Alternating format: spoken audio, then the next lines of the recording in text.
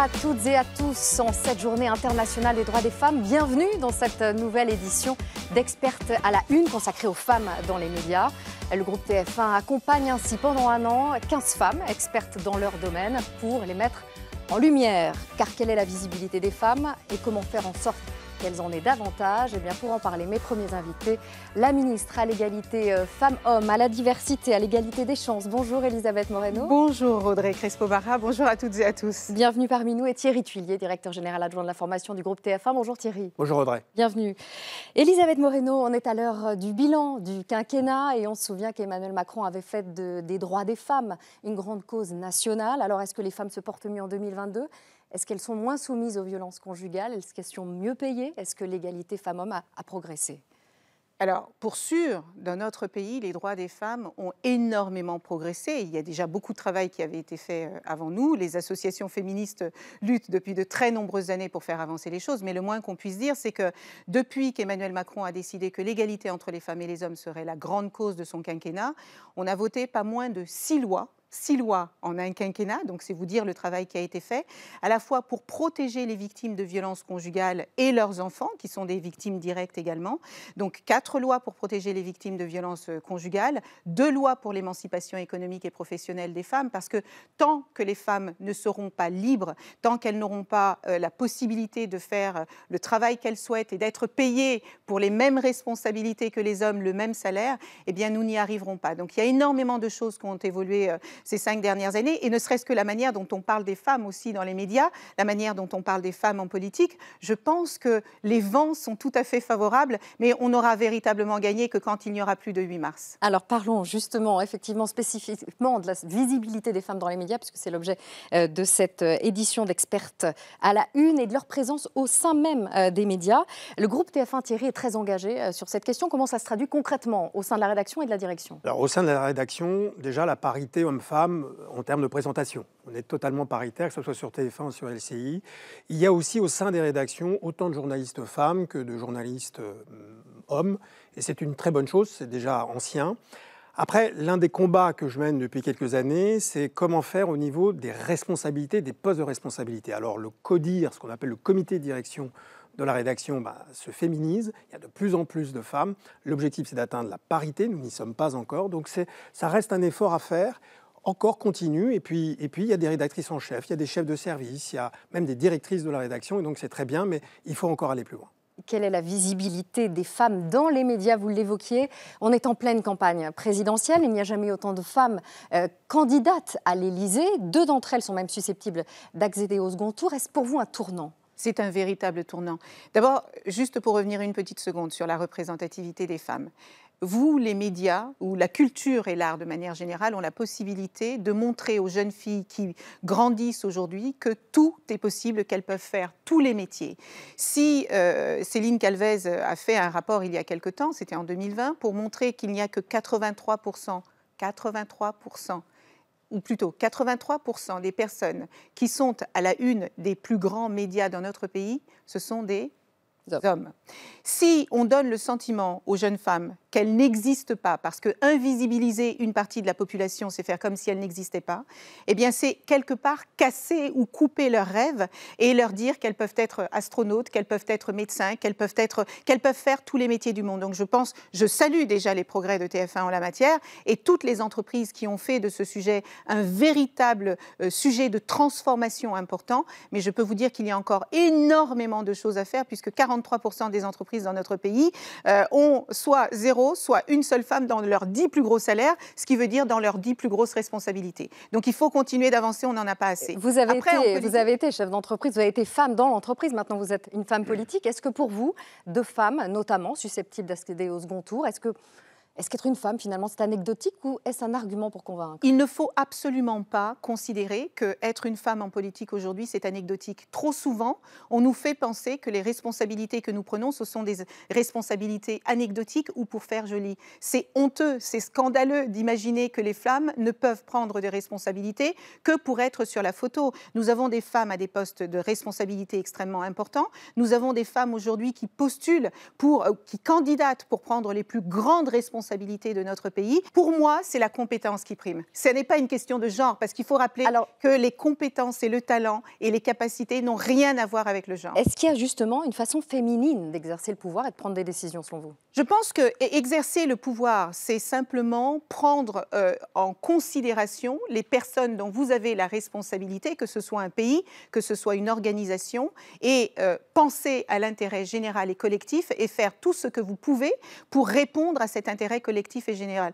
Est-ce que vous pensez qu'il faut un genre pour faire cela? Est-ce qu'il n'y a pas eu des femmes dans notre pays qui ont eu des responsabilités extraordinaires? Je pense à Catherine McGregor, mais je pense également aux nouvelles patronnes euh, de, de Veolia ou de Orange. Est-ce que véritablement vous pensez que quand elles se lèvent le matin, elles se disent aujourd'hui, je vais euh, diriger mon entreprise comme une femme ou comme un homme Avoir des responsabilités, prendre soin des personnes dont vous avez la charge et euh, des tâches qui vous incombent n'a absolument pas de genre. Alors, selon une étude TF1 sur euh, les femmes et l'ambition, à la question quels sont les freins à votre évolution professionnelle, écoutez, c'est très intéressant. 36% des hommes de plus de 35 ans répondent le manque d'opportunités d'évolution, quand 33% des femmes répondent le manque de confiance en moi.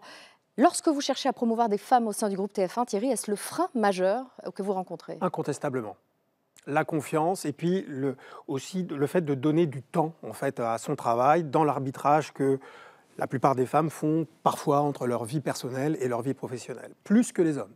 Ça, c'est vrai. Et donc, pour lutter contre ce manque relatif de confiance, il faut, faut, quand même préciser que c'est en train d'évoluer, heureusement. heureusement. Eh bien, il faut faire un travail très volontariste au niveau des équipes de la rédaction. Il faut parfois beaucoup de conviction.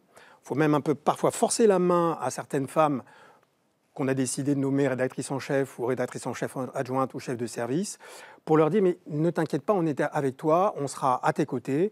Et c'est vrai qu'il y a un travail là de pédagogie à faire au sein des rédactions et de l'encadrement, avec notamment, euh, j'allais dire, euh, toute une illustration à travers des exemples. Je pense que ce qui compte le plus, c'est de dire, si telle personne a réussi, toi aussi tu peux réussir. Et c'est ça la chance que nous devons donner aux petites filles peut-être de demain qui seront des responsables, c'est se dire c'est possible pour toi aussi, comme pour les hommes. C'est pas qu'il y a un problème de genre, c'est juste chaque citoyen dans, cette, dans ce pays doit avoir une chance de réussir et j'allais dire d'aller au bout de ses ambitions, ça me semble très important. Ce sentiment euh, d'illégitimité, euh, vous l'avez éprouvé vous-même et dans quelles circonstances? Bien sûr, puisque moi je n'ai évolué que dans des mondes extrêmement masculins, d'abord dans le bâtiment, ensuite dans le secteur des nouvelles technologies, donc euh, des environnements où il y avait toujours peu de femmes. En fait, vous avez ce sentiment d'illégitimité déjà quand vous ne voyez pas d'autres personnes qui vous ressemblent à cet endroit-là. Déjà, vous vous posez des questions. Et ensuite, l'environnement professionnel dans lequel j'évoluais euh, était un environnement très testostéroné, parce que très masculin. Et euh, pendant un certain temps, j'ai cru qu'il fallait manager comme des hommes pour pouvoir réussir dans le management. En vérité, si vous voulez, et parce que plein d'études montrent que les entreprises les plus paritaires et les plus mixtes sont les plus performantes, les plus innovantes, les plus créatives. Et donc c'est pour ça qu'il faut justement laisser aux femmes la possibilité de manager et de leader comme des femmes. C'est là euh, qu'on en tirera tout le bénéfice. Justement, pour aller vers plus d'égalité hommes-femmes, il y a la parité, la fameuse parité, vantée par certains, critiquée par d'autres. Un candidat à la présidentielle trouve que c'est même humiliant euh, pour les femmes parce que c'est prendre une femme pour ce qu'elle est et pas pour ce qu'elle fait. Éric Zemmour qui ajoute si une femme est compétente, elle doit avoir le poste. Si elle ne l'est pas, elle ne doit pas l'avoir. Diriez-vous le contraire? Alors, je lui demanderai dans ce cas-là, est-ce qu'il considère qu'en 2022, le fait d'avoir trois femmes qui dirigent les plus grands groupes du CAC 40 dans notre pays, c'est parce que toutes les autres femmes de notre pays sont incompétentes et incapables? Et Éric Zemmour pense que les femmes sont inférieures aux hommes et que ce sont des gibiers. Donc il n'est plus à une, une absurdité près en ce qui concerne les femmes. Moi, je crois que si on en est à légiférer, il a fallu que nous votions deux lois durant ce quinquennat pour permettre aux femmes de trouver leur place dans le monde professionnel, pour briser ce fameux plafond de verre. Ça n'est pas une vue de l'esprit. C'est pas parce que les femmes ne veulent pas, parce que j'ai entendu parfois les femmes ne sont pas assez ambitieuses. Comme le disait euh, monsieur, c'est une question de confiance en soi, d'estime de soi, mais c'est aussi le regard que la société porte sur les femmes et cette capacité que nous avons à enfermer les femmes dans des rôles, dans des stéréotypes, et on a des préjugés quant à leur capacité à diriger. Donnez les rênes d'une entreprise ou d'une organisation, quelle qu'elle soit, à une femme, et vous verrez que les femmes sont aussi capables et compétentes que les hommes, et aussi incapables et incompétentes que les hommes. Donc, il, Donc leur donner les rênes quand elles sont capables, mais pas parce qu'elles sont des femmes. Les femmes ne manquent pas de talent ou de compétences et de capacités, elles manquent d'opportunités d'exercer ce talent. Et c'est pour ça qu'il faut les accompagner et qu'il faut, même de manière temporaire, mettre des lois en place. Et c'est ce que nous avons fait avec euh, Marie-Pierre Rixin, de mettre des quotas pour forcer les entreprises à briser ces plafonds de verre qui pèsent sur, la tête des femmes. Merci Elisabeth Moreno d'avoir été euh, à nos côtés. Merci à vous. Nous allons voir maintenant euh, comment le groupe TF1 s'engage pour promouvoir la visibilité des femmes. C'est tout l'objet de l'opération Experte à la Une, vous l'aurez compris. Thierry, vous nous présenterez dans un instant la nouvelle promotion d'experte aux côtés de la marraine. Clarisse Agbenienou, la judocate la plus titrée de France, double médaillée d'or au dernier JO de Tokyo en juillet. Son parcours, jalonné d'épreuves, nous est retracé par Christophe Abel, Mathieu Perrault et Bruno Chastanier. Un cri, comme une libération, après tant de sacrifices, tant de combats. Son premier, elle l'a gagné il y a 28 ans dans sa couveuse. Née grande prématurée, Clarisse Akbenienou sera opérée d'un rein et va rester 7 jours dans le coma. Je dirais même que je suis née morte. C'est euh, un, mot, c'est un mot qui est dur à dire, mais c'est vrai, quand ils m'ont retiré du ventre de ma mère, je ne respirais pas. Nous l'avions rencontrée en janvier 2019 dans la maternité rennaise, avec celles et ceux qui ont veillé sur elle jusqu'à son premier souffle. Ce qui fait que Clarisse, plus rien ne peut lui arriver pire que ce qu'elle a vécu. C'est tout, il n'y a plus rien. Cette épreuve va forger son caractère. À l'âge de 7 ans, la directrice de son école conseille à ses parents de l'inscrire au judo. Une révélation. Très vite, elle enchaîne les podiums et remporte plusieurs tournois en jeune. À 14 ans, elle ne vit plus que pour ce sport. Mon mari lui a dit, mais Clarisse, si tu as choisi à faire du judo, tu le fais bien. Une éducation stricte et son engagement dans la gendarmerie vont pousser l'adjudante Clarisse à décrocher des titres. Cinq fois championne d'Europe, cinq fois championne du monde, jusqu'à ce coup d'arrêt en 2016. Elle perd en finale des Jeux Olympiques de Rio. Euh, ça aurait été largement mieux d'entendre la Marseillaise et euh, d'avoir la, la médaille de la bonne couleur. Déterminée, elle se relève et fait de Tokyo 2020 son objectif majeur. Mais l'or olympique s'envole une nouvelle fois à cause du report des Jeux. Elle était, elle était limite au fond du trou en fait. C'est comme si 4 ans de travail, elle les annulait comme ça en fait. À 28 ans, Clarisse a désormais tout gagné et devrait faire une pause avec le judo pour vivre un nouveau rêve, fonder une famille. Clarisse Agbenienou, bonjour, bienvenue, merci d'être avec nous. Et euh, alors que vous êtes euh, en plein rêve, on va en parler, Christophe en parlait il y a un instant, mais avant de revenir sur votre incroyable parcours, pourquoi accepter d'être aujourd'hui euh, la marraine de cette nouvelle promotion d'experte j'ai accepté d'être marraine aujourd'hui parce qu'il y a beaucoup de tabous, de choses non dites, euh, de, rêves brisés ou euh, pas réalisés. Et c'est important pour moi de d'épauler, comme euh, j'ai pu aussi prendre part pour mes rêves et aller les chercher, d'épauler, de dire que tout est possible avec de la confiance et juste de l'entrain la confiance, la détermination. On verra qu'il vous en a fallu euh, beaucoup. Euh, avant que vous nous présentiez, Thierry, cette nouvelle promotion d'expertes, regardons le bilan de l'édition précédente.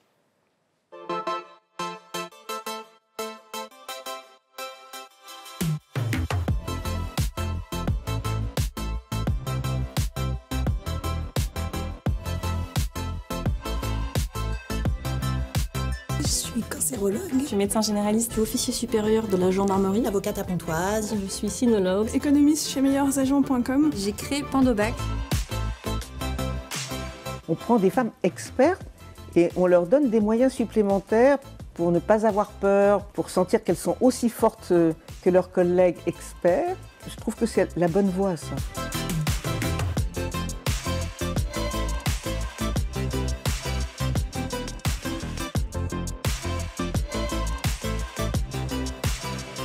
D'être avec nous, Julia Minskowski. Bonsoir, docteur Hortense Ducouret. Avec toutes ces données, le véhicule peut euh, avoir des informations sur la météo. Pour tout le monde, comme pour un médecin, j'imagine, euh, parfois on oublie qu'on a des patients. C'est pas à Nicolas Sarkozy de prouver qu'il ne savait pas.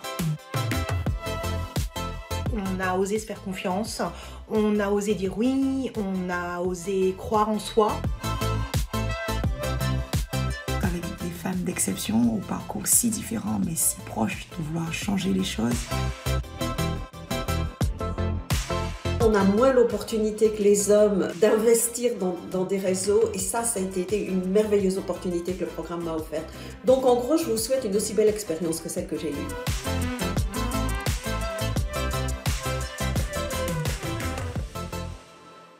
Alors Thierry, qu'est-ce que cette première édition a permis d'améliorer?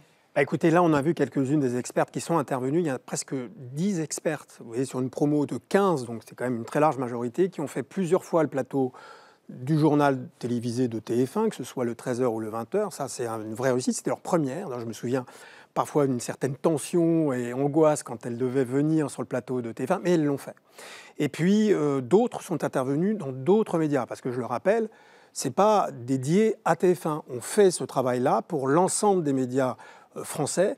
Et donc, ils sont intervenus, j'en ai vu quelques-unes sur euh, des chaînes info concurrentes, et c'est très bien, et pour nous, c'est un immense bonheur de les voir s'épanouir dans ce nouvel exercice. Clarisse Thierry va nous présenter maintenant la nouvelle promotion dont vous êtes la marraine. Je, vous en prie, Thierry. Oui, merci, merci Audrey. D'abord, préciser que c'est le même principe que l'année dernière, donc c'est bien 15 expertes, une promo de 15 expertes, avec un certain nombre de programmes euh, puisqu'il s'agit d'abord d'immersion au sein de la rédaction. On a vu notamment des rencontres avec des présentatrices comme Anne-Claire Coudray, euh, toi Audrey sans doute aussi. Et puis il y a un parrainage, un marrainage de ces experts qui vont être accompagnés. Il y a aussi du média training, c'est très important le média training. Et donc c'est cet ensemble-là d'exercices entre guillemets qui doit permettre de, de franchir les obstacles et de, de gagner en confiance en soi, parce qu'on a entendu ça, la confiance en soi. Alors cette année, c'est quoi l'objectif? C'est qu'à chaque fois, on a repéré que nous avions des faiblesses dans un certain nombre de domaines. Dans d'autres domaines, dans beaucoup de domaines, ça va, mais par exemple dans le domaine de la santé, suite au Covid, on s'est rendu compte que l'essentiel du personnel qui nous était envoyé était masculin. Donc, on a décidé, par exemple, de, de promouvoir un certain nombre d'experts. J'espère qu'on va voir les panneaux on va voir les, en matière visages. De, des visages, en matière de santé. Donc on a là une chef adjointe du SAMU de Paris, une urgentiste de Bordeaux, une femme médecin généraliste, une experte de l'immunologie qui travaille pour l'INSERM, et puis euh, une jeune chef d'entreprise qui est engagée dans tout ce qui est euh, domaine de la santé. Nous avons aussi, là aussi, c'est très problématique de trouver des, experts dans, cette, dans ces domaines-là, euh, prévus et engagés des experts dans le domaine de la police, du régalien, mhm. police, justice, défense. Et là, par exemple, c'est l'autre panneau. Nous avons en effet, euh, par exemple, une experte de la police, c'est une ancienne porte-parole de la police. Nous avions aussi une constitutionnaliste. Figurez-vous que c'est très compliqué de trouver une spécialiste du droit constitutionnel. Et puis, troisième domaine d'importance, nouveau aussi, c'est tout ce qui concerne le climat, la démographie, l'économie au sens large. Et là, nous avons donc euh, de nouveaux visages qui mhm. euh, se présentent à vous. Nous avons une démographe qui travaille à l'INE, nous avons une experte du climat météo, nous avons aussi une experte euh, en réchauffement climatique et enfin une, experte de l'emploi.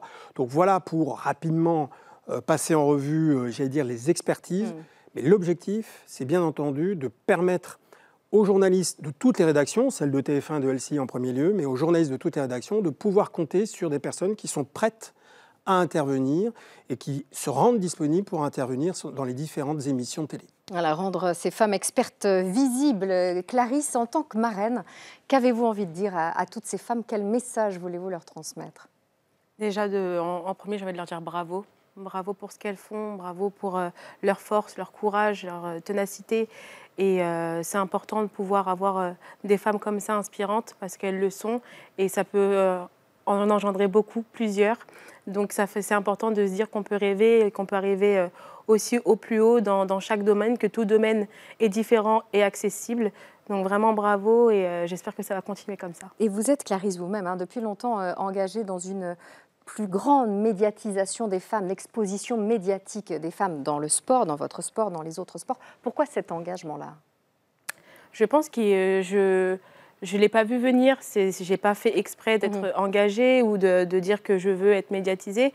Mais forcément, en faisant pas mal de médailles, en essayant de parler euh, correctement, euh, ça, ça, pousse à aller chercher ce qui est un, peu au fond et peut-être qu'on voyait un, petit coup de mystère, un rêve et on a voulu aller creuser un peu plus. Et euh, en tout cas, je remercie d'avoir creusé et ça ça m'importe parce que maintenant, aujourd'hui, il y a beaucoup de personnes qui me regardent, que ce soit des petites filles ou des petits garçons. Mm. Et c'est important de leur dire que dans, dans, la vie, il y a des moments qui peuvent être plus, plus durs que, que d'autres. On ne m'a jamais dit que j'allais gagner et au final, voilà où, euh, où, où, où je suis. Et j'espère que en regardant un peu tout ça, que ce soit dans le sport ou, ou d'autres choses, mais ils vont se dire que le, les rêves sont possibles, c'est atteignable et qu'il faut juste en donner les moyens. C'est ça, on, l'a vu hein, dans le portrait, Christophe Abel vous a, consacré la, détermination euh, qu'il a, fallu avoir. Se faire une place dans le monde du judo, euh, est-ce que ça a été euh, difficile et en quoi cela l'a été? Oui, bien sûr, de toute façon, se faire une place dans le monde pour tous, c'est difficile. Mais euh, ce qui a été euh, d'autant plus, je dirais, difficile et simple, c'est juste de se faire sa propre place.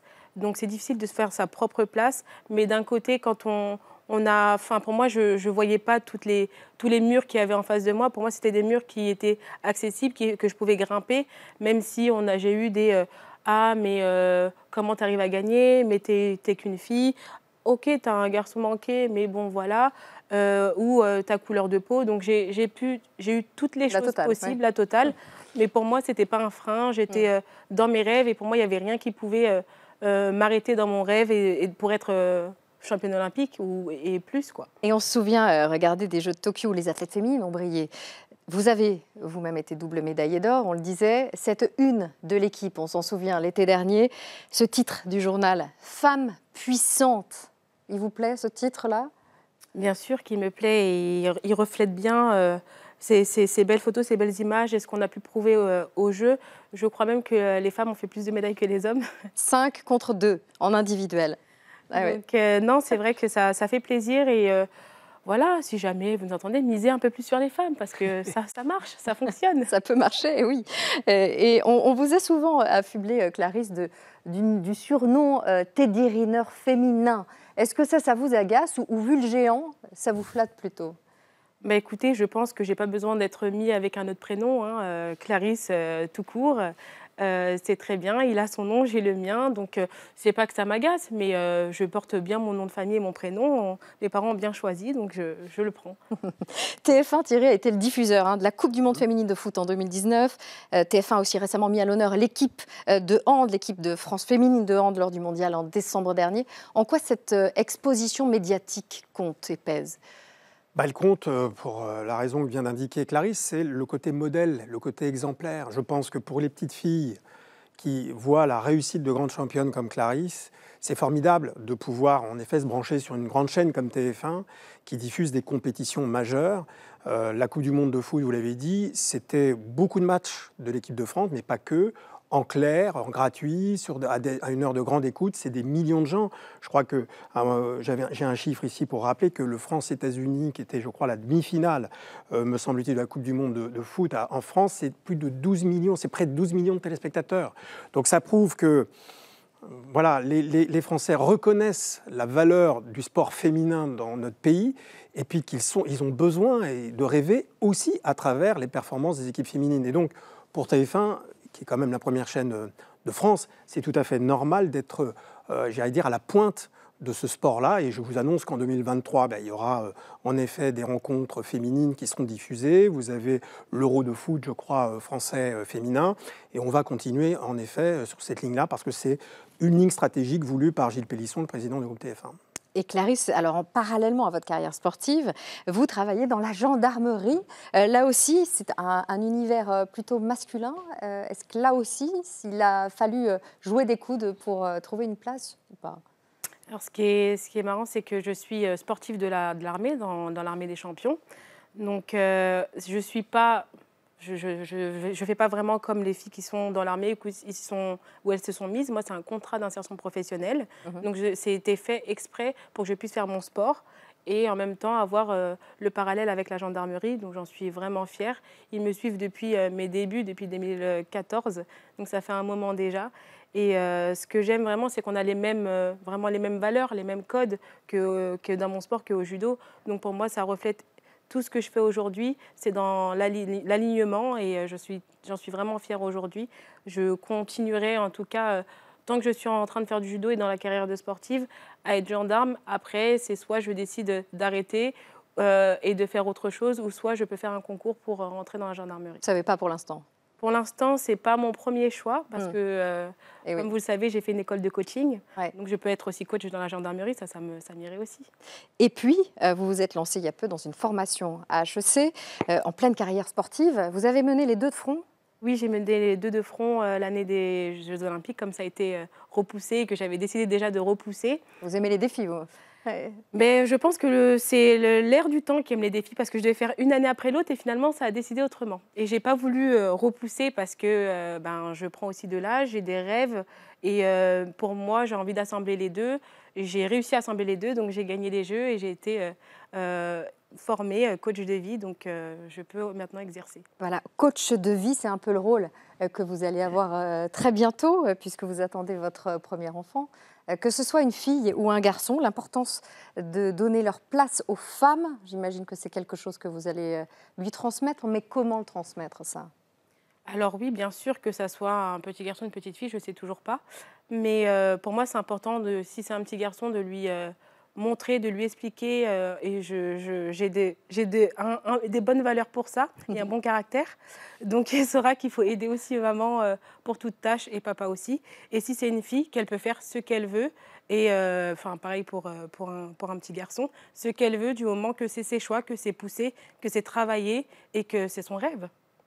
Thierry, c'est aussi une des valeurs qu'on transmet chacun à ses enfants, vous, à, à votre fille, à votre fils aussi, Oui, j'imagine euh, en l'occurrence à ma fille, en effet, oui, c'est très important de croire, euh, parce que je pense que c'est sans doute l'un des freins principaux et on a besoin d'exemples de réussite. Donc euh, oui, bien sûr. Et des- un exemple, vous en êtes un, évidemment. On va se retrouver au, au JO 2024, rassurez-nous. Oui, Hein je reviendrai encore plus forte. Encore plus forte. Et Encore ça commence forte, quand l'entraînement? Ah, ça d'abord, euh, on va laisser le bébé décider. Ben Et après, euh, j'aurai quand même de bonnes années pour revenir.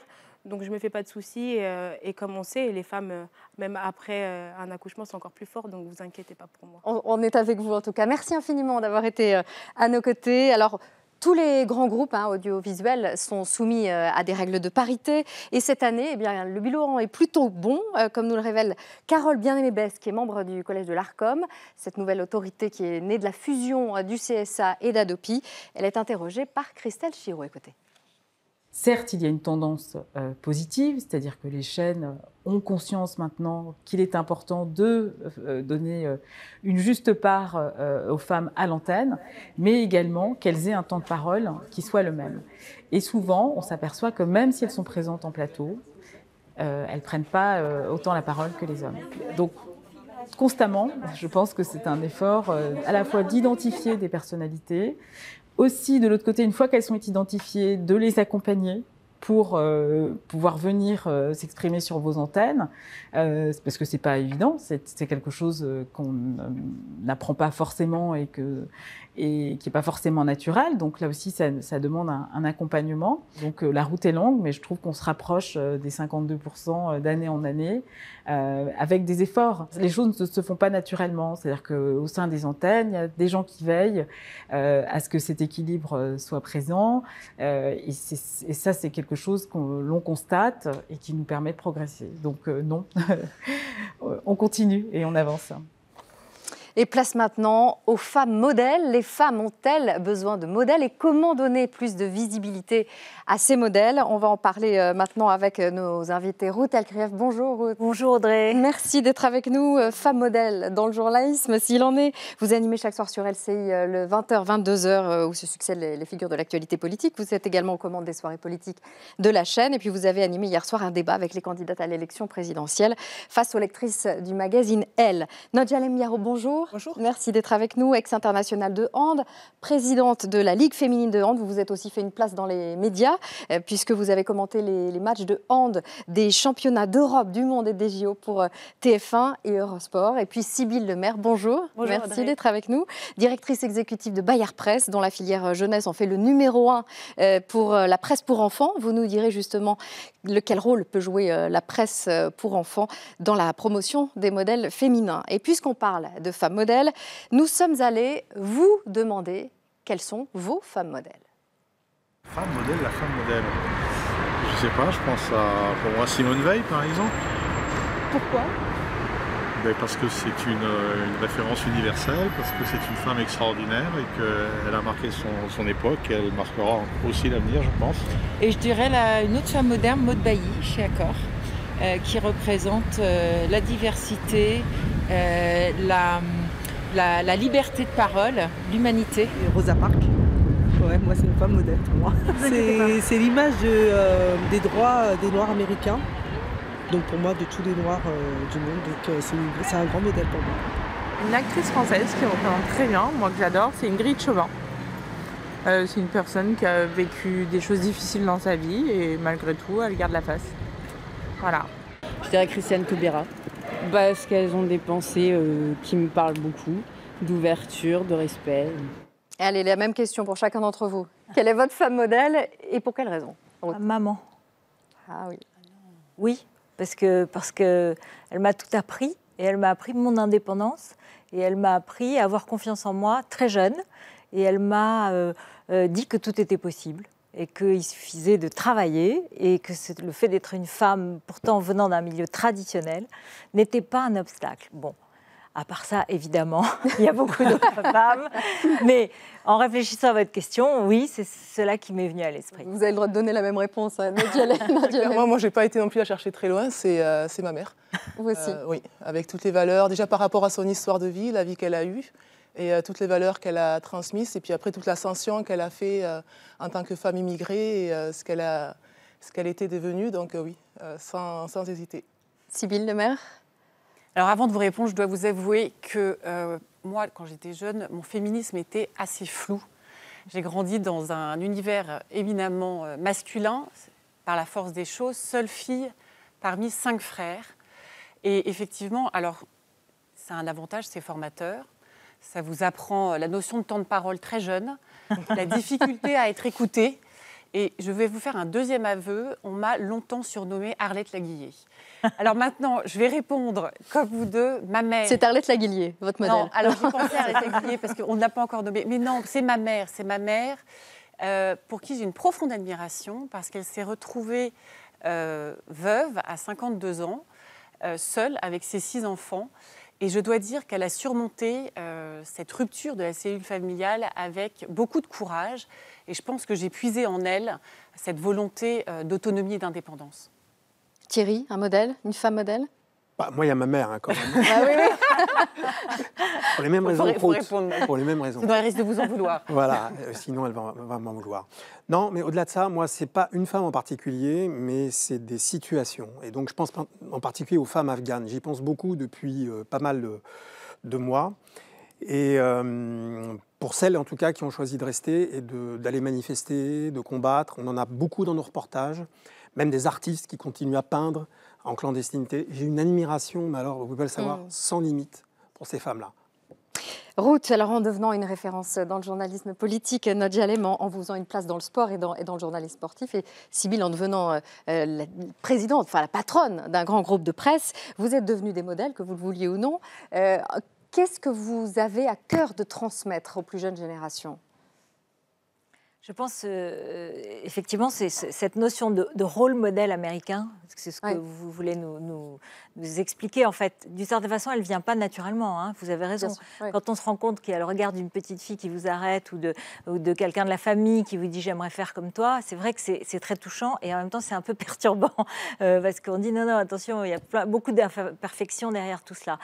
Mais moi ce que je veux transmettre c'est que euh, c'est la, la volonté, euh, le travail, euh, l'énergie et que c'est possible. Voilà. Donc, euh, pas de limite au rêve, pas de limite euh, en se donnant les moyens.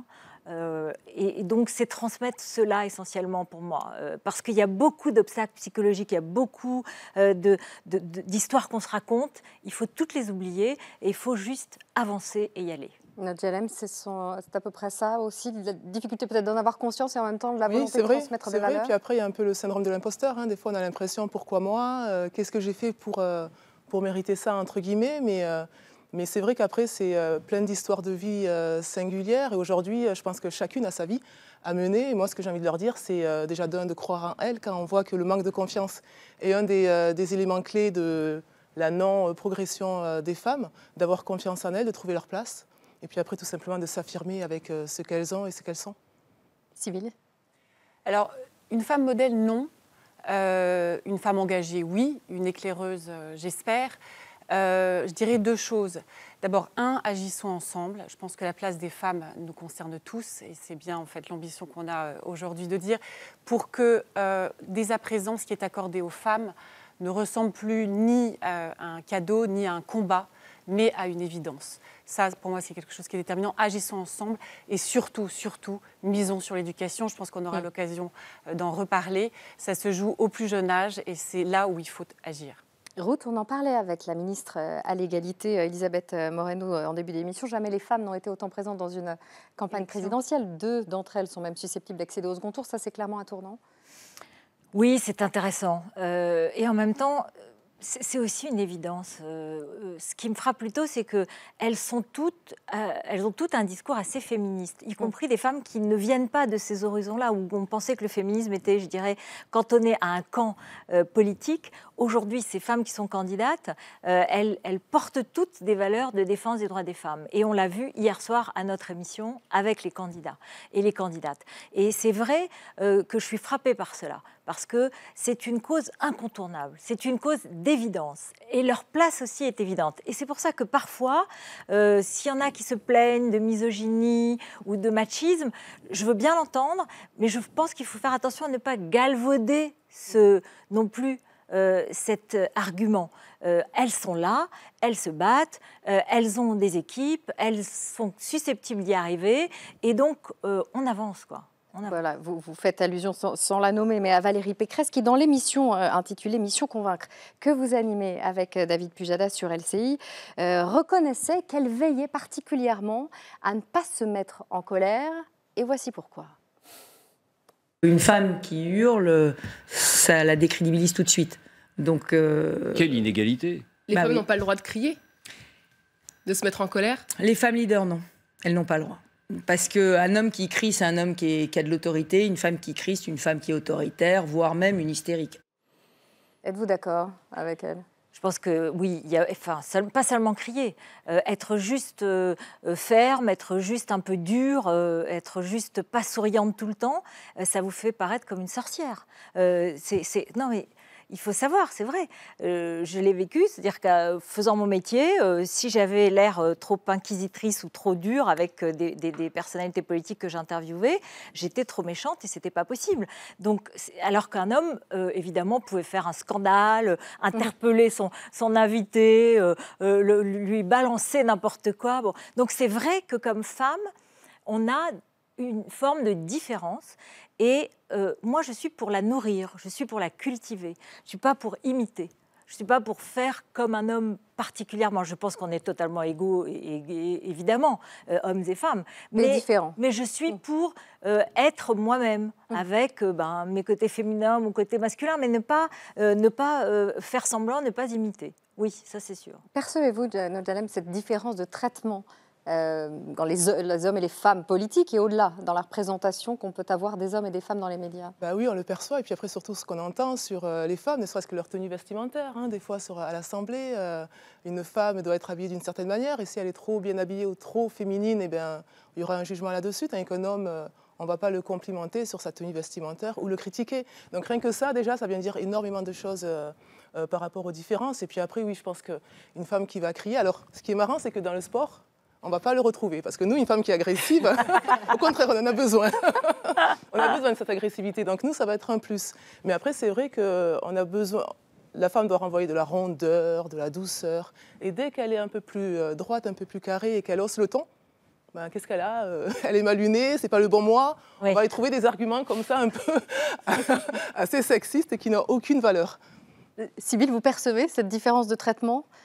Entre les hommes et les femmes Oui. Et oui. comment Après, j'ai toujours pensé qu'avec euh, un peu de courage et du leadership, on arrivait à faire bouger les lignes. Mais ça demande du travail, oui, il y en a encore, absolument. Thierry, vous qui avez dirigé l'information euh, de France Télé et ses émissions politiques avant de diriger celle de TF1, est-ce que vous percevez cette différence ou elle s'est euh, clairement atténuée au fil des années? Par rapport à ce que dit Valérie Pécresse, moi je suis d'accord avec toutes les, toutes les personnes ici. Je pense qu'en effet, une femme qui crie euh, sera jugée plus sévèrement qu'un homme qui crie. Mais j'ai rarement vu une femme qui criait dans un débat euh, public. C'est une des forces, d'ailleurs, je pense, du leadership féminin, pour le coup. Je pense qu'il y a un, un self-control, en, fait- en vérité, plus fort, plus grand que chez les hommes, parce que peut-être que le rapport de pouvoir chez les hommes se traduit plus par, euh, j'allais dire, euh, des décibels. Et je pense que c'est une des forces, c'est-à-dire quand on regarde les leaders féminins à l'étranger, on voit que généralement ce sont des personnes très pragmatiques, assez courageuses et rarement euh, j'allais dire, louvoyantes. Et donc ça, je trouve que c'est plutôt mettre, à mettre très à l'actif des femmes qui euh, veulent faire demain une carrière politique. Donc oui, et puis après, il y a des évolutions, en effet, il y a une féminisation, heureusement, et enfin, j'allais dire, de la classe politique française. Sans doute pas assez. Euh, on voit quand même que parfois, même au sein de l'exécutif, c'est pas si évident. Non, souvent, et en plus, elles sont entourées seulement d'hommes. Donc, il y a vraiment des questions euh, parce que le passé fait que les couches, la sédimentation fait qu'il y a beaucoup d'hommes autour d'elles, alors même qu'elles, elles peuvent avoir promu des femmes autour, euh, elles ne sont pas encore là. Et j'ajoute aussi des femmes en responsabilité sur des sujets régaliens. On a une ministre de la Défense. C'était une des premières fois avec euh, Ma- Marie-Michel Alliot-Marie, Alliot-Marie. Voilà. Mais c'est rare en fait. Et donc je pense que sur des sujets d'importance majeure, c'est très bien d'avoir des femmes euh, ministres ou en charge d'un certain nombre de secteurs. Oui, Place Beauvau, Quai d'Orsay, Bercy, des hommes. Et les femmes sont peut-être encore cantonnées. Est-ce qu'à l'égalité homme-femme, par exemple, on imagine un homme Certainement pas. Est-ce qu'il y a Pourquoi encore des... Vous savez, moi je pense que j'ai entendu la ministre tout à l'heure, je suis d'accord avec elle. L'idéal, c'est qu'il n'y ait plus de 8 mars, c'est qu'il n'y ait plus de différenciation, c'est que ce soit plus une exception, c'est qu'on dise plus euh, c'est la journée de la femme, moi ça m'insupporte, même si, parce que c'est bah, c'est tous les jours la journée de la femme euh, et, et la journée de l'homme, enfin bon voilà. Mais euh, oui, je pense qu'à un moment, il faut qu'on arrive à ce que ce soit évident et naturel. Alors, c'est une progression, c'est une question d'éducation. Je trouve que dans les jeunes générations, il y a beaucoup de choses qui bougent. On a des débats entre mères et filles euh, euh, sans fin parce que les féminismes ne se ressemblent pas toujours. Et, on voit bien que ça va, ça va vite, que ça va assez fort. Donc, moi, je suis assez optimiste sur les évidences. Mais il reste des lieux de pouvoir pour rien vous cacher, je veux dire, je pense qu'à l'Élysée, par exemple, la première cellule autour du président, il pas de femme, à part son épouse.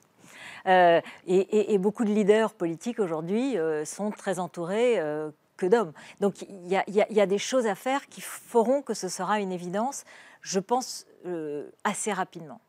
Et vous êtes-vous vous-même déjà retrouvé dans une, une situation où vous vous êtes senti moins bien traité parce que vous êtes une femme, moins bien traitée par un invité? Ah, par un invité? Oh, je lui coupe la parole, hein. Ah non, non. Je me laisse pas faire. Est-ce qu'on conteste davantage la légitimité d'une femme? Est-ce que ça vous est arrivé, Sybille, Nodjalem Est-ce que vous avez eu l'impression à un moment donné, dans votre carrière, d'être moins bien traitée parce que vous étiez une femme Mais dès petite, dès petite. oui, parce que vous étiez au milieu des cinq Ah bah frères. là, parce que vous faites des équipes, euh, de- vous êtes six, vous faites des équipes de trois, vous comptez pour du beurre. C'est-à-dire vous et le dernier. Ça, donc vous l'apprenez très très vite. Donc justement, ça, ça vous, ça vous donne une volonté de, de changer les choses très jeune. Je pense que toute femme, en fait, l'a expérimenté dans une carrière professionnelle. malheureusement. Je pense, je pense, sauf que je ne le regarde pas. je ne le regarde pas parce que j'ai pas envie de le voir, parce que j'ai pas envie de m'appuyer sur ça, et que quand je me lève le matin, je suis ni femme, je suis ni noire. Je suis juste une, un être humain qui se lève le matin et qui a envie de passer une bonne journée, de travailler, d'être avec ses enfants. Donc voilà, je préfère pas m'attarder là-dessus parce que c'est des freins qui peuvent être trop douloureux, euh, je pense, si on s'arrête là-dessus et qui viennent euh, vraiment aller toucher l'estime de soi. Donc moi, je trace ma route, euh, je fais mon petit bout de chemin. Vous êtes à la tête d'un grand groupe de presse, je le disais, euh, Sybille Demers, euh, directrice exécutive de Bayard Presse. Est-ce que ça a été compliqué de se faire une place? Non, pas chez, Bayard, non. Parce que d'abord, il y a une majorité de femmes, alors peut-être que ça, aide. Alors, c'est ce que vous disiez tout à l'heure, c'est après sur les postes de direction où ça devient plus compliqué. Mais en fait, j'ai envie de dire, c'est un peu comme nos, contrats de presse. La mixité est inhérente à notre groupe de, presse. Et c'est vrai euh, que, si vous me permettez de le dire, euh, la mixité, nous, elle est inhérente à nos contrats depuis la création de la presse jeunesse en 66 avec Pomme d'Api. Alors c'était quand même assez visionnaire, voire militant à l'époque. Et ça a perduré. Et c'est vrai que nous y travaillons beaucoup. On parlait de la représentation. Il est très difficile aujourd'hui pour une jeune fille de devenir ce qu'elle ne voit pas. D'où l'importance d'une émission, l'émission que vous portez, effectivement, c'est très très important. Euh, la représentation dans l'imaginaire euh, des enfants est importante.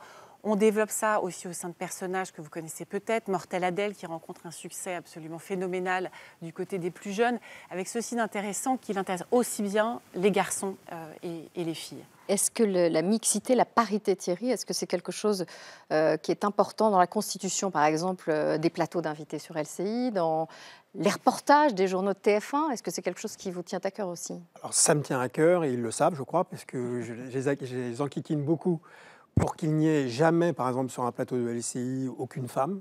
Bon, ça paraît une évidence, mais parfois c'était pas si évident que ça, on le sait. Donc c'est vrai qu'aujourd'hui c'est plus possible. Euh, c'est vrai aussi beaucoup de réunions, de conférences de rédaction, de pédagogie. Moi, je préfère la pédagogie à la contrainte même si c'est dans les objectifs des managers que de favoriser la parité. Et donc, de fait, on a atteint des objectifs, j'allais dire, corrects, pas tout à fait satisfaisants. Je regardais les statistiques euh, pour préparer cette émission. On a à peu près 44% d'experts dans nos journaux, 33% euh, d'experts pour LCI. C'est pas mal, mais franchement, on peut faire mieux. Mon objectif, c'est plus de 50% parce que les femmes représentent 52% de la population française. Donc on peut se dire c'est bien parce qu'il y a une progression. Enfin, on est encore loin du compte. Donc je leur demande encore un effort à, mes équipes. Vous veillez à cette parité-là, Ruth? Oui. Quand vous constituez, quand vous composez vos plateaux d'invités. Oui, mais ce, ce, qui est intéressant, c'est que les équipes avec lesquelles je travaille m'engueulent parfois en me disant Hé, attention Je dis Non, mais il n'y a pas de problème, bien sûr. Mais non, non, non, non, il n'y a pas assez de femmes là. Je dis Non, non, mais il n'y a pas de problème, tu as raison, tu as raison. Donc euh, non seulement je l'ai intériorisé, mais tout le monde autour de moi l'a intériorisé. Il y a une sorte de, de rappel au règlement régulier. Et ça, c'est vrai que c'est extrêmement bien. Mais c'est vrai que c'est compliqué parce que quand on va chercher des experts, quand on va chercher, euh, il y a une intériorisation par un certain nombre de femmes euh, sur est-ce que je vais être bonne à la télé, comment ça va se passer, est-ce que je, suis légitime, est-ce que je suis... Et tout ça, c'est vraiment des siècles, des eh siècles hmm. à balayer et un travail de fond à faire. Et, il, demeure, c'est évident, il demeure. Notre Jalem, je rappelle que vous êtes international de hand, président de la Ligue féminine. je rappelle que vous êtes fait une place aussi dans les médias en, en commentant les matchs des plus grands championnats. L'équipe féminine s'est illustré l'an dernier en remportant pour la première fois le titre olympique à Tokyo. Est-ce que c'est une fierté pour les femmes ou pour votre sport? Ah, pour mon sport. Avant tout pour mon sport. Euh, très clairement. Après, euh, oui, pour les femmes, pour, euh, pour l'histoire du handball féminin, oui, c'est une fierté. Ah, vous parlez de handball féminin? Ouais. Vous savez que certaines femmes refusent d'entendre parler de handball féminin en disant que c'est le même sport. C'est le même sport, mais avec des spécificités différentes. Mm. Donc euh, après, on dit ligue féminine de handball, et en fait, c'est tellement dans, mon vocabulaire que oui, je dis handball féminin, mais euh, oui, c'est le même sport, sans les mêmes règles. Mais il y a quand même des, euh, petites différences aussi dans, le handball féminin. Mais oui, si je reviens à votre question, complètement. Mais moi, elles m'ont fait, elles m'ont fait rêver, elles m'ont fait vibrer. Et toute la famille du handball, que ce mm. soit... du coup, le handball est devenu un sport sans sexe, effectivement, parce que tout le monde était derrière. Et les garçons, quand ils ont eu leur titre, sont venus euh, encourager les, euh, les joueuses équipes de France. Donc c'est toute une histoire, cette médaille-là, c'est euh, l'histoire de toute la famille, la famille du handball. Donc bien sûr que c'est une fierté parce que ben, quand on reprend l'histoire du handball féminin, en 99, on a eu le, premier titre de vice-championne du monde, personne ne nous connaissait. Aujourd'hui, on peut citer certains noms de joueuses alors moins que les garçons, c'est clair, mais euh, personne ne connaissait. Et aujourd'hui, de dire que le handball féminin comme le handball masculin ramène des médailles, en termes de parité, c'est euh, tout un dispositif derrière, hein, parce que c'est pas pour rien que les filles ramènent des médailles aujourd'hui, c'est que derrière, il y a une fédération qui supporte à la même, euh, au même niveau les garçons et les filles. Donc voilà, je pense que ça, ça a été pour nous un peu l'apothéose. Alors regardez, il y a encore un peu de chemin. Qui a dit? Regardez, pour moi, une femme qui se bat au judo ou dans une autre discipline, ce n'est pas quelque chose de naturel, de valorisant. Pour l'équilibre des enfants, je pense que la femme est mieux au foyer. Qui a dit ça? Petite devinette? Personne bon, Vous n'osez pas David Douillet, figure du judo, s'il en est. Bon, c'était il y a 20 ans. On, va dire que, que tout ça est passé dans son, dans son avis, autobiographie. Il ne le répéterait pas aujourd'hui. Non. Pardon, il ne le répéterait pas aujourd'hui. Il n'oserait pas. Parce que l'époque a changé aussi, peut-être, non? Parce qu'il a appris et il a grandi dans ça aussi. C'est toute une éducation, hein, c'est ce qu'on disait. Hein, c'est qu'on le voit dans le sport, euh, à l'école, ne serait-ce que dans une cour de récréation. Regardez euh, où sont situées les filles et où sont situés les garçons. Donc je pense que David Douillet, s'il a dit ça il y a une vingtaine d'années, c'est parce que dans, son, dans sa mémoire, c'était quelque chose qui était d'une logique euh, implacable. Le début de votre carrière, justement, c'était dans les années 2000, pareil. Donc, il y a 20 ans, vous, vous avez constaté une, une évolution dans le sport? Alors oui, parce que nous, dans notre histoire en plus du handball, quand on a eu le titre de vice-champion du monde, on a un peu surpris tout le monde, personne ne nous attendait, même les médias. Hein. D'ailleurs, on a bousculé tous les programmes télé. Et en fait, quand on a eu le titre de vice-champion du monde, on s'est rendu compte que les primes n'étaient pas les mêmes, étaient complètement dégradées par rapport aux primes des garçons. Donc en fait, on a poussé notre coup de gueule parce qu'une handballeuse eh ben, aime l'équité, la parité. Donc on a poussé notre coup de gueule et euh, on est parti demander les mêmes primes que les garçons parce qu'on n'avait de, n'y avait aucune raison qu'à médaille égale, différence de, euh, primes. Donc l'histoire, elle a, elle a, commencé euh, aussi comme ça et c'est pour ça que dans le handball, on est vraiment dans cette quête un peu de d'égalité et de parité. Alors vous qui êtes des, des femmes modèles, Sybille, quels conseils donneriez-vous aux jeunes femmes pour réussir dans la vie et pour réussir leur vie? J'ai beaucoup aimé ce que vous avez dit euh, tout à l'heure en disant qu'on ne prenait pas forcément suffisamment le temps euh, pour se former ou en tout cas pour, euh, pour se donner les moyens. Alors en cette journée du 8 mars, je voudrais quand même annoncer que le groupe Bayal lance un nouveau média qui s'appelle Vive, qui va s'atteler à un des moyens pour donner confiance aux femmes, c'est leur éducation financière. C'est un sujet dont on parle peu. Femmes et argent, on parle beaucoup de charge mentale, de beaucoup de choses, insuffisamment de ça, et je pense véritablement que l'autonomie des femmes passera par leur éducation financière et leur capacité à gérer. On parle beaucoup euh, de l'inégalité euh, des femmes et des hommes en activité au niveau des salaires, qui est de 17 points. On parle moins du fait que cet écart s'élève à 33 points au moment du passage à la retraite. Donc il est urgent, effectivement, de s'atteler à cela. Et je vous remercie de, de puisse l'exprimer aujourd'hui. Donc c'est le conseil que je donnerai effectivement. Un autre, peut-être, dans la sphère professionnelle, c'est aussi prenez le temps trouver des alliés, peut-être pas forcément uniquement du côté des femmes, avoir des appuis et former des alliances, c'est important euh, dans l'univers professionnel. Quel conseil, donneriez-vous aux plus jeunes? Alors moi, c'est un, conseil, pas aux plus jeunes d'ailleurs, c'est un conseil aux chefs d'entreprise et aux décideurs. Mon conseil, c'est de ne pas regarder seulement les plus jeunes femmes, mais aussi les femmes expérimentées qui parfois, après 45 ans, après 40 ans, ont des accidents de parcours, ont des carrières un peu cabossées et qui sont des trésors d'expérience pour une entreprise, pour une, association. Et, donc, les femmes, c'est un ensemble. Elles sont, quand elles sont jeunes, elles ont une énergie, elles ont beaucoup. Euh, mais quand elles sont moins jeunes, attention, il y a une autre forme de, de, discrimination. Et, donc, euh, je, veux adresser ce message qui est euh, les femmes, c'est à tous âges, dans toute leur vie, sur tout au long de la vie, parce qu'elles sont cette expérience. Il y a une différence en cela entre les hommes et les femmes encore oui, aujourd'hui ah, bien sûr, elle est, elle est importante. il y a, après 45 ans, une femme qui veut recommencer à travailler ou qui veut changer d'emploi ou qui se retrouve au chômage peut avoir un, problème et cela, ça peut être un obstacle. Et ça, c'est aussi euh, un, quelque chose sur lequel, un préjugé supplémentaire contre lequel il faut lutter. Quel conseil, Nadja donneriez-vous aux femmes Vous savez, moi j'ai des jumeaux et j'ai un garçon et une fille. Donc, euh, du coup, je les, vois, euh, je les vois bien grandir ensemble et je vois bien ce que la société euh, peut refléter et renvoyer à nos enfants de différents. Donc, des fois, j'ai une tendance à aller pousser ma fille un peu plus dans l'affirmation de soi, même si des fois, je n'ai pas trop besoin. elle, a, un modèle. Presque, presque j'ai envie d'affréner. Mais en fait, je pense que, effectivement, c'est vraiment du début de, de la vie. Euh, jusqu'à la fin de la vie. Je pense que la femme, de toute façon, on a, euh, en fonction des tranches d'âge, euh, des difficultés à mener. Donc aujourd'hui, je pense que c'est un combat qui va être mené par des femmes, mais par des hommes. Et, je pense qu'il faut ne pas cliver ce, vraiment ce travail-là collégial que l'on va faire.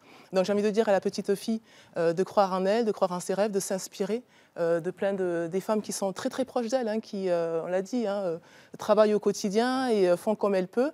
Une autonomie financière, c'est hyper important. On lance un podcast qui va s'appeler Osons l'oseille. L'autonomie financière, c'est vraiment oui, ne serait-ce que de savoir qu'on ne dépend que de nous et qu'on n'a pas à se reposer comme nos mères l'ont fait dans le passé, dans les foyers où on voyait qu'il y avait justement cette différence. Elle s'est créée aussi pour, par rapport à ça. Donc une autonomie financière, une autonomie de, parole, de libre arbitre. Je pense que ça, c'est vraiment euh, pour moi le, euh, le plus important. Merci beaucoup, merci Naja, merci Ruth, merci, merci merci, d'avoir été avec nous. Thierry, vous restez avec moi. Nous allons maintenant accueillir la relève, nos cadettes, euh, trois jeunes femmes euh, au parcours remarquable. Vous allez le voir comme nos experts de l'an dernier, d'ailleurs, au premier rang desquelles figurait une jeune femme de 25 ans, commissaire de police, qui, fraîchement diplômée, a choisi un commissariat de Seine-Saint-Denis. Son portrait, signé Michael Guilleux et Philippe Véran. Aujourd'hui, interpellation de six objectifs simultanément dans le cadre d'une enquête préliminaire pour trafic d'héroïne. Être la plus précise possible. Calme.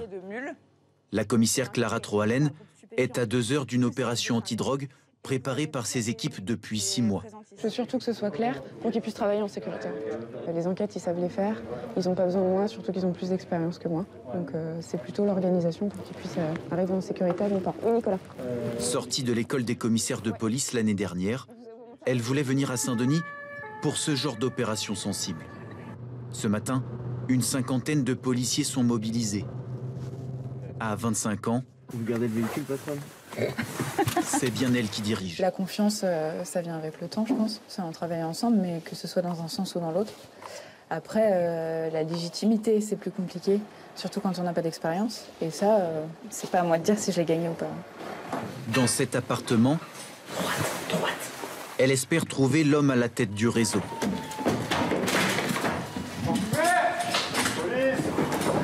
Le trafiquant sera arrêté dans une autre maison. Sa complice, en revanche, était bien sur place, elle est emmenée au poste. Situation délicate, Je vais venir t'attacher, bouge pas. le fils de la suspecte était présent. Que comme ça, c'est plus en sécurité. Ouais. Ça doit être un peu quand même traumatisant de voir qu'on emmène ses parents. L'important, c'est qu'ils soient jamais tout seuls, qu'ils sentent pas qu'il y ait trop de pression. On arrête tous les méchants. je, peux voir Non, tu vas pas voir. Est-ce qu'on arrête un peu à ce moment-là d'être commissaire? Non, on reste tout à fait ce qu'on est quand on est policier, comme pour tout travail. euh, On continue à faire le boulot et à la fois on peut être euh, très humain, si je puis dire. Le petit garçon sera placé provisoirement. L'opération est un succès. Il y avait un truc, ça ressemblait à des épices, on s'est dit on le prend quand même, on le testera. Non. Ça, il n'y avait, pas- avait pas d'odeur Putain, mais alors du coup, on a combien? Euh, bah, on est quasiment 2 kilos. Plus de 2 kilos d'héroïne saisie. La routine du commissariat reprend. Ça va? Elle commence toujours par le tour des bureaux. Ça me permet de voir tout le monde, voir ce qui est en cours, euh, voir qui est euh, en stress, pas en stress. ouais. Mais euh, c'est ni plus ni moins que dire bonjour, dans un premier temps quand même. Bonjour, ça va J'avais pas vu le bureau là, c'est pas mal en fait. Clara Troalen est étudiante à Sciences Po quand elle découvre la police au cours d'un stage. L'univers lui était inconnu. Elle est séduite par la vie des commissaires, entre enquête, encadrement et gestion des hommes. Aujourd'hui, elle dirige 102 policiers qu'elle doit guider, soutenir dans les moments compliqués et parfois recadrer. Il faut euh, leur rappeler parfois le sens de la mission, euh, l'existence de victimes derrière, parce que comme pour tout le monde, comme pour un médecin, j'imagine, euh, parfois on oublie qu'on a des patients et que c'est pas juste un métier qu'on fait de manière un peu euh, mécanique. Ce travail, la numéro 3 du commissariat ne le mène pas seule. Chaque matin, elle fait son rapport à la commissaire principale de Saint-Denis. Les échantillonnages, c'est fait, placement sous scellé, donc euh, tout est bon. J'ai besoin de son avis, de ses conseils, euh, de ses décisions euh, qui vont parfois pas dans mon sens, mais, euh, mais qui me permettent d'évoluer euh, au quotidien. Il y a forcément des moments euh, difficiles, euh, soit des, des dispositifs un peu compliqués, euh, des scènes violentes auxquelles euh, on assiste, voire on participe, entre guillemets. Le rôle d'un chef, c'est aussi de savoir dire à ceux avec lesquels il travaille qu'à un moment, il faut qu'il lève le pied, qu'il se préserve un petit peu. Son quotidien se joue aussi en dehors du commissariat. Clara Troalen est responsable d'un nouveau dispositif, un bureau de plainte pour femmes victimes de violences, délocalisé dans cette maison spécialisée. Ce matin-là, elle vient visiter les futurs locaux. On va acheter une table d'examen côté de médecine légale. Euh, Une des choses qui bloque les femmes, c'est d'aller au commissariat. Ça, pour elles, c'est une étape difficile. Rencontrer des policiers qu'on a adoubés, euh, elles ont confiance. C'est une nouvelle porte qu'on leur offre, mais évidemment, la, la nôtre, elle est toujours ouverte, elle le sera toujours. Dans quelques années, elle devra transmettre ce projet à un successeur. C'est une obligation pour rester toujours alerte. Les commissaires doivent régulièrement changer de commissariat. Et place à celle qui incarne la relève. Voyons s'il est plus facile en 2022 de se faire une place quand on est une femme et qu'on a un parcours remarquable. Astrid Chevance, bonjour. Bonjour. Vous étiez l'une de nos expertes l'an dernier. Il faut dire que vous avez trois masters en sociologie, en bioéthique, en recherche clinique. Vous êtes aussi normalienne, agrégée d'histoire et vous avez ensuite fait médecine pour être psychiatre. C'est tout? Non, j'ai un doctorat en santé publique aussi. C'est magnifique. Bienvenue. Fatou Ndiaye, bonjour. Bonjour. Merci d'être avec nous. Vous êtes entrepreneuse, influenceuse. Vous avez fondé le site The Wonders, euh, qui accompagne hein, les femmes dans leur parcours professionnel. On va voir comment. Et vous êtes experte aux Nations Unies. Euh, on verra aussi en quoi ça consiste. Lucie Bache, bonjour. Bonjour. Merci aussi d'être avec nous. Vous êtes entrepreneuse, euh, citée parmi les 100 femmes qui euh, changent le monde par le magazine Challenge. Bravo. Engagée dans la lutte contre le gaspillage alimentaire. Votre appli Too Good To Go, donc trop bon pour être jeté, connecte en fait les commerçants de quartier ayant des invendus aux citoyens à proximité en France et à l'étranger. On, on, le verra. Astrid, votre modèle, quand vous étiez petite, c'était Erasme, père de l'humanisme. Et en primaire, vous aviez déjà lu toute l'œuvre de Balzac. Et puis, vous avez un parcours hors norme que je viens de résumer. Alors, vous avez forcément entendu souvent vous êtes une femme très intelligente. Et pour vous, c'est pas forcément un compliment. Pourquoi? Non, c'est quelque chose d'assez vexant. Ça veut dire que quand on m'aborde de prime abord, on ne pense pas que euh, je puisse être intelligente parce que je suis une femme, en fait. Et c'est souvent euh, des choses, effectivement, que j'ai vécues étant euh, enfant, adolescente, jeune femme. Alors maintenant, beaucoup moins puisque j'arrive avec mes titres et donc forcément, ça aide. Mais il fallait à chaque fois que je refasse mes preuves, que j'étais digne d'ouvrir ma bouche et de pouvoir aligner plus de deux idées. Et ça, c'est vrai qu'à chaque fois, je me prenais comme un coup de poing dans le ventre dès que qu'on me sortait cette phrase. Ça voulait justement dire que euh, jusque-là, on considérait plutôt comme une, chose à regarder ou euh, agrément. Voilà. C'est ça. Alors, vous vous levez, vous, tous les jours à 5 h du matin pour euh, travailler avant que, que, vos enfants ne se lèvent. Vous menez de front votre carrière de chercheuse, votre rôle de mère, bon, travail et, et maman comme des millions de femmes. Mais diriez-vous que ça vous différencie des générations précédentes?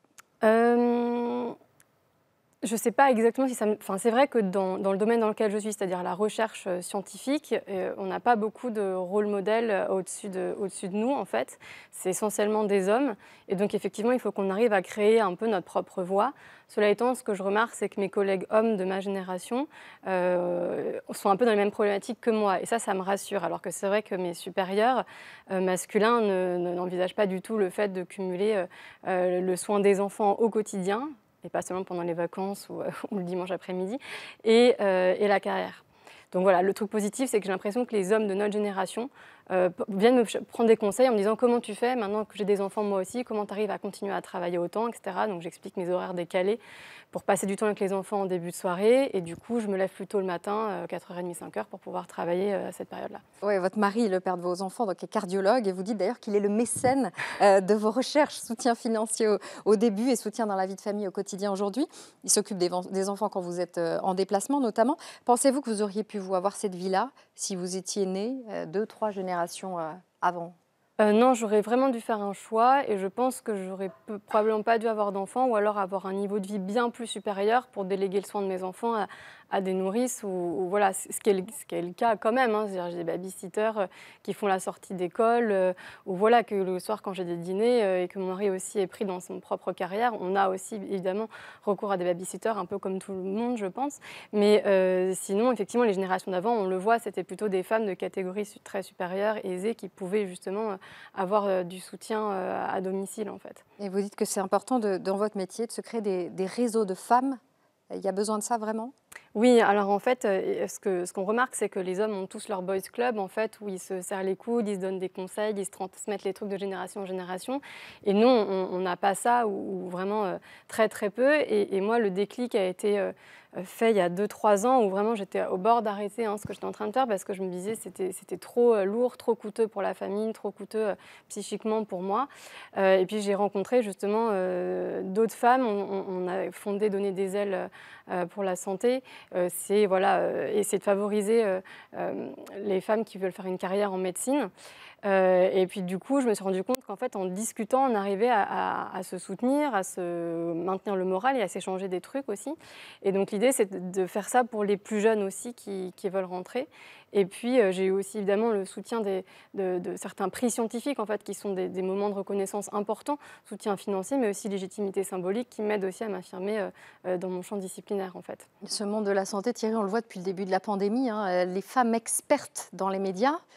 C'était pas si évident que ça au début, on a cherché. Bah, lors du premier confinement, on en avait parlé lors de la première promotion, on n'avait que des hommes en fait. Alors peut-être peut-être parce qu'on nous envoyait des hommes, peut-être aussi parce qu'on ne connaissait pas de femmes expertes.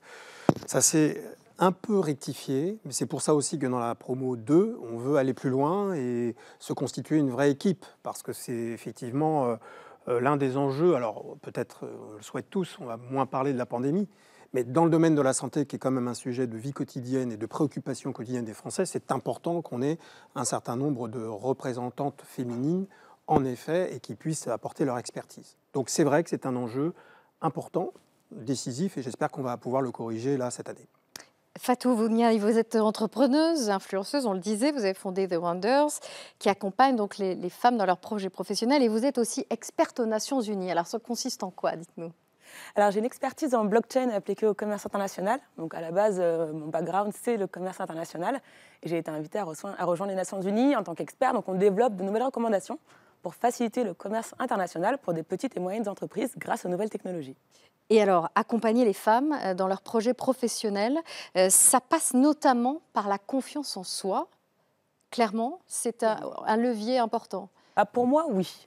Et euh, il y a un chiffre fort qui est, ressorti, c'est que 92% des femmes ont un projet qu'elles ne lancent pas. En grande partie parce qu'elles manquent de confiance en elles et elles manquent d'audace. Et moi, je crois vraiment que l'audace, c'est un muscle qu'on peut développer. Mais pour y arriver, il faut être en collectif, parce que notamment les femmes développent leur confiance en elles quand elles sont dans un groupe. Et euh, on l'a bien mentionné juste avant par Astrid. Et donc, du coup, c'est pour ça qu'on s'est dit, et si on crée un collectif où les femmes qui veulent booster leur confiance en elles nous rejoignent et elles ont accès à un des rôles modèles, parce qu'on a créé une journée dédiée à mettre en lumière des femmes d'impact comme, euh, comme euh, Astrid par exemple, et de l'autre côté on a créé des programmes d'accompagnement basés sur des défis. La confiance en soi c'est clairement euh, un frein majeur dans l'entrepreneuriat féminin.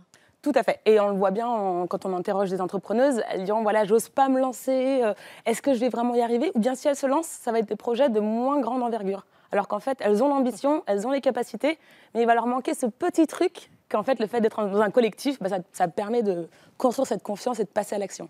Thierry, vous qui dirigez l'information du groupe TF1, constatez-vous qu'il y a peut-être plus d'audace parmi les, plus jeunes d'entre nous? Est-ce que les femmes, les plus bah, jeunes, ont plus d'audace? Je suis moins, moins emballé que vous, peut-être, ou en tout cas que parfois je, je pense. Je trouve que parmi les plus jeunes, il y a encore ces freins dont vous parlez. Et en vous écoutant, je me disais, toutes vos initiatives sont remarquables, mais, parlons aussi de l'éducation de l'école. C'est-à-dire, je pense que quand même, tout va, doit passer davantage par l'école. Euh, par exemple, pardon de parler de moi, mais moi j'ai une fille de 18 ans bientôt, et je vois bien qu'elle ne s'imagine pas un certain nombre de choses, alors que Dieu sait si, euh, voilà, avec ma femme, je, l'aide. Et je me dis quand même qu'on a raté des trucs sans doute au niveau de l'école euh, pour offrir des perspectives, donner des confiances, aussi, j'allais dire, donner en exemple des figures féminines qui ont réussi, et pas seulement des figures historiques comme Simone Veil ou autres, mais aussi dans l'entreprise euh, ou dans la recherche.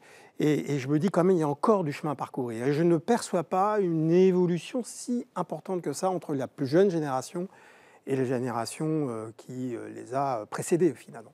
Lucie Bache, vous êtes vous ingénieure, donc je le disais, citée parmi les 100 femmes qui changent le monde euh, par le magazine Challenge. Vous êtes fière de ça? Oui, tout à fait. Votre appli anti-gaspi, euh, Too Good To Go, consiste en quoi? Expliquez-nous. Euh, donc effectivement, on connecte les commerçants de quartier qui peuvent avoir des invendus en fin de journée et les consommateurs qui vont passer récupérer ces invendus.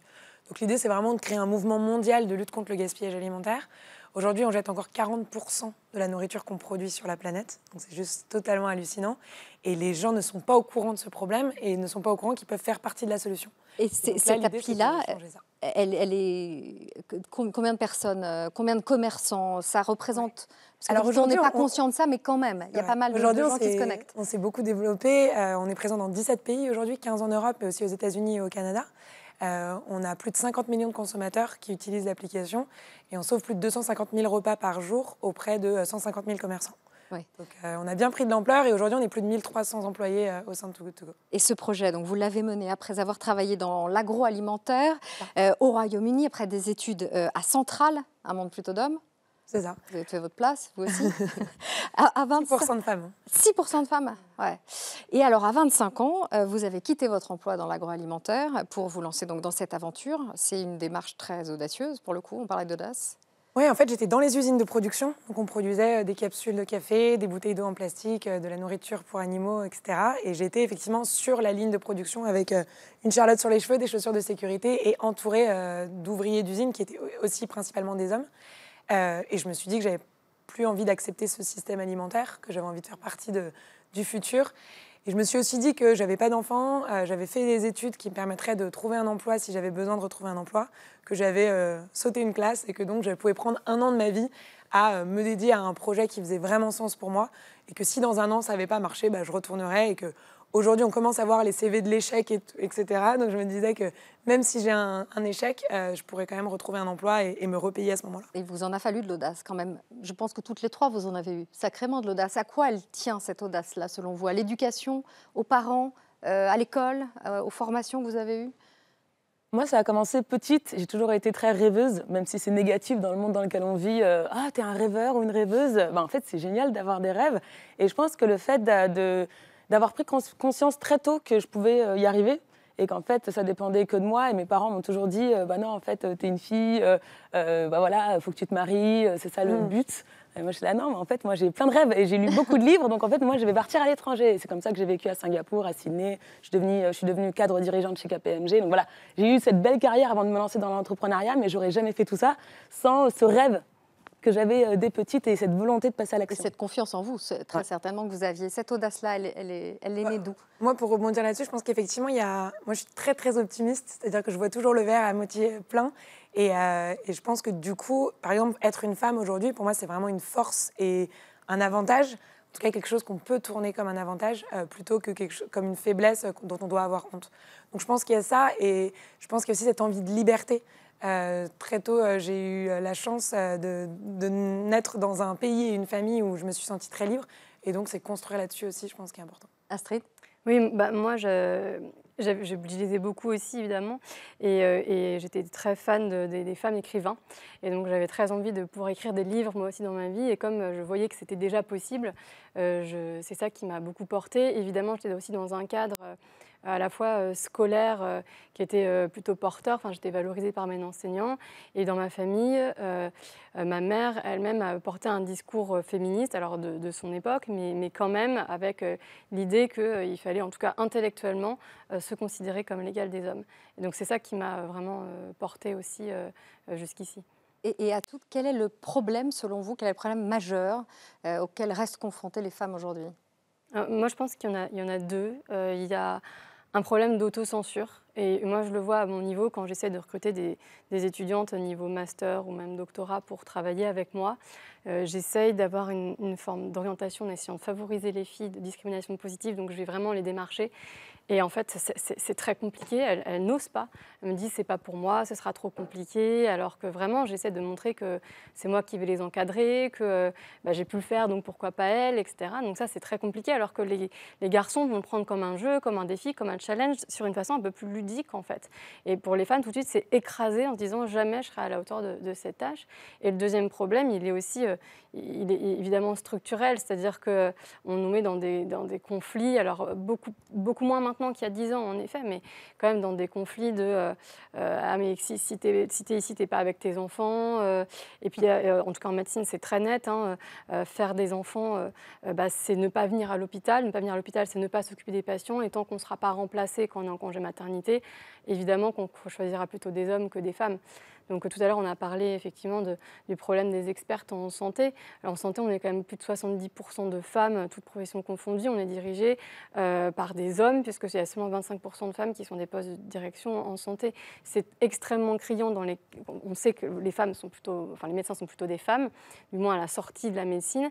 Mais après, quand on regarde dans les carrières universitaires, c'est essentiellement des hommes. Il n'y a que 19% de femmes qui deviennent professeurs des universités. Donc il y a quand même quand on sait ça, on se dit que la tâche, elle est énorme et c'est décourageant. Lucie, quel est pour vous le problème majeur auquel les femmes restent confrontées aujourd'hui?